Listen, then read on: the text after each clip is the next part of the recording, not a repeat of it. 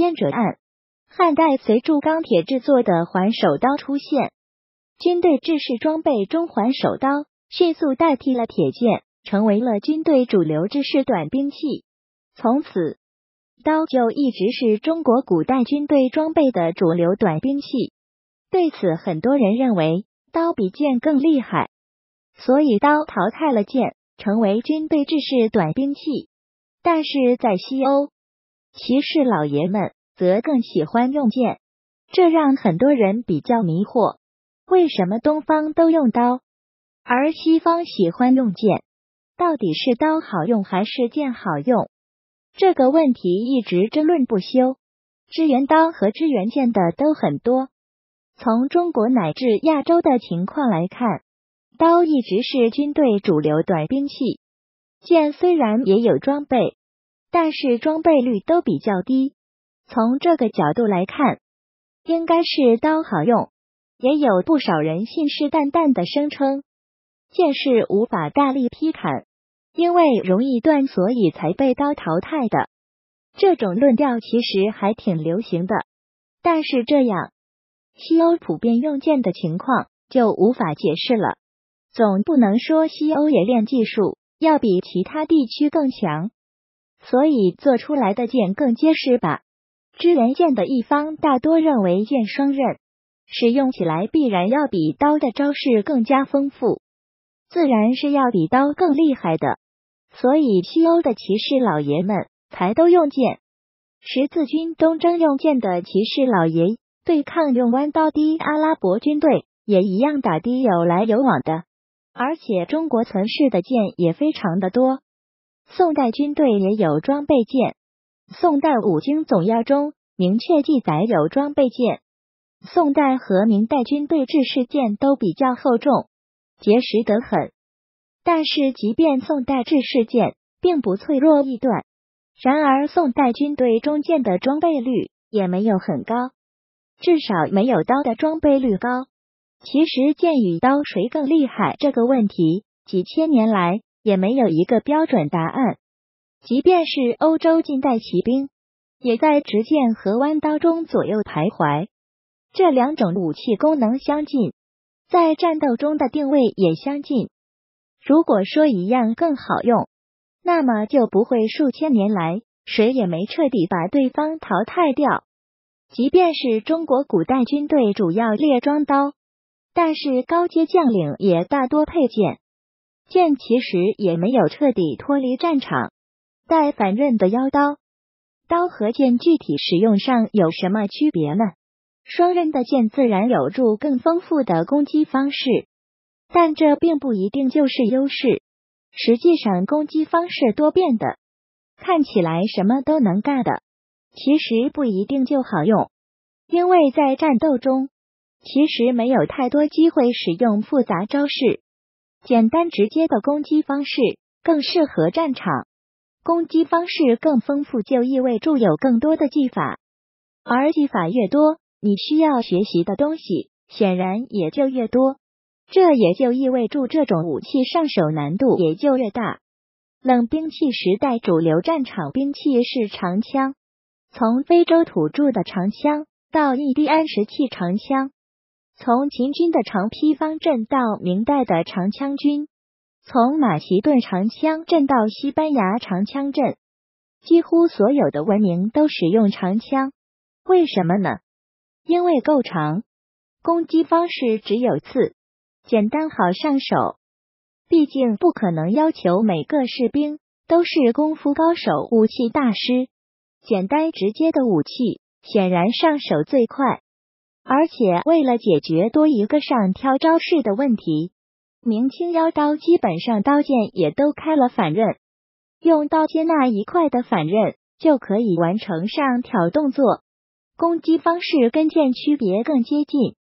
剑与刀最大的区别其实不在于强度，一个质量合格的剑条其实没那么容易折断。同样也不在于招式，剑招和刀招有着很大的重合性，能用剑的。用刀也没有太大问题，会用刀的用剑也没什么技术壁垒。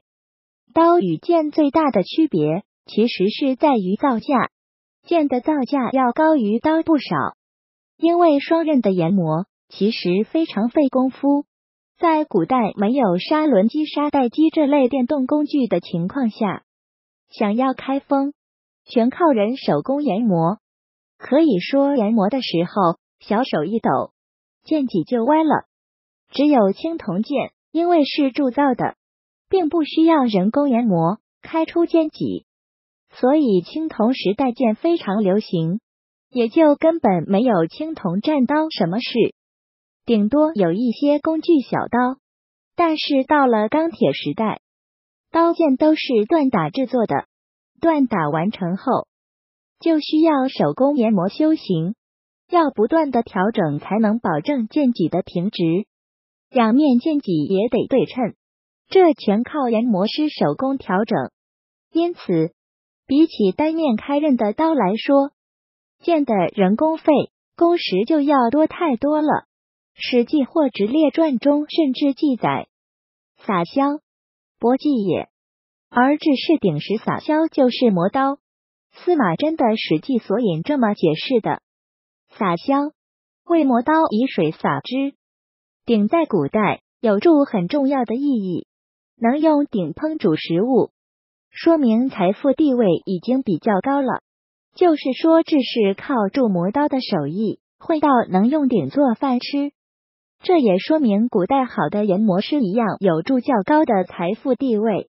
所以剑因为研磨不易，制作起来费时费力，在古代全靠人工研磨的情况下，一把剑的造价甚至可能是刀的几倍。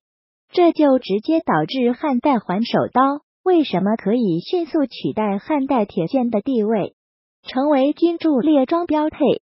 造价便宜，上手简单，这两条就决定了军队中普通士兵装备刀远比装备剑划算得多。也因为这个原因，更贵的剑成为了身份的象征。其实无论东西方，剑都是一种身份地位的象征。维京人也只有贵族才能使用剑，普通的维京人也只能是用战斧这种造价比刀还低的短兵器。而西欧的骑士老爷们也属于贵族阶级，自然要选择剑来展示自己的身份和财力。实际上，欧洲并不是不用刀，普通的士兵大多也一样是使用刀作为武器。中国古代阶级森严。甚至于什么身份佩戴什么档次的剑都有规定，所以中国古代将军大多佩剑而少有佩刀的。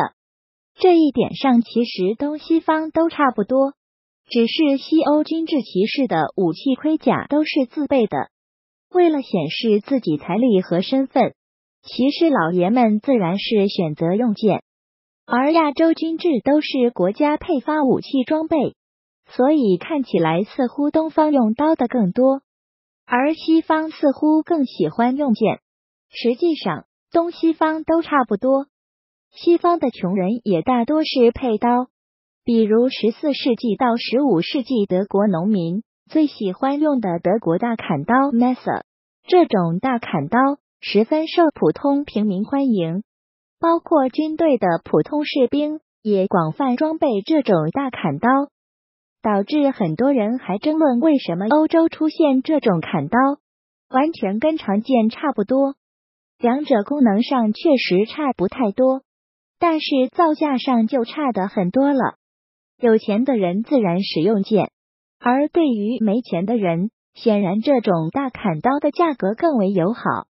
另外还有十三世纪到十四世纪。非常受普通底层士兵和民众欢迎的法尔基砍刀 （Fortune），这种砍刀其实才是普通士兵最普遍的装备。看起来十分宽大，其实比较薄，制造起来简单，因为刀刃宽大，也不容易被砍断。最重要的是造价十分低廉，这与我国二战时期的抗日大刀片的定位同出一辙。造型上也颇有相似之处。真要比较起来，这种类似抗战大刀片的法尔基砍刀，从造价和工艺来说，成本和技术含量其实要低于中国同时期的腰刀的。因为这种法尔基砍刀的流行，也导致了一些贵族阶级也开始使用法尔基砍刀。但是这种贵族用的法尔基砍刀，自然是要更加的华丽，不但护手和配重做的十分精致，甚至有些刀身还专门如铜剑一样起脊，只为展示我有钱。说到底，举个不恰当的例子，对于古代军人来说，刀类似于安卓手机，剑类似苹果手机。两者都能实现同样的功能，效能上其实也没有本质区别，但两者所含有的附加值不同，导致两者的使用者群体也出现了两个不同的分类。当然，现在高阶安卓机，比如某位，价格和附加值也开始增高，而据说苹果手机也要出低端机了。本文系新新历史原创稿件。主编袁阔，作者人渣笑西风。任何媒体或者公众号未经书面授权不得转载，违者将追究法律责任。